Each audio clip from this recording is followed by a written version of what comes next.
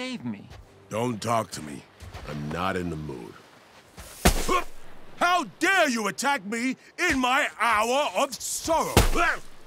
Why did you save me?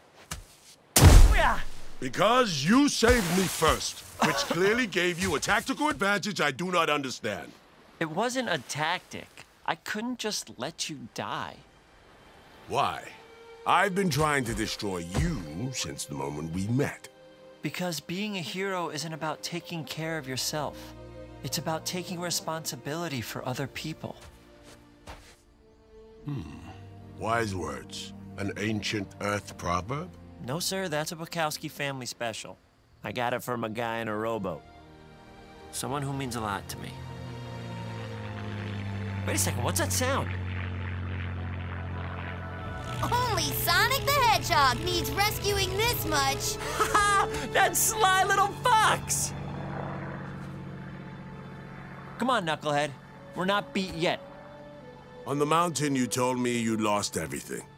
The way I did. But you seem so hopeful and free.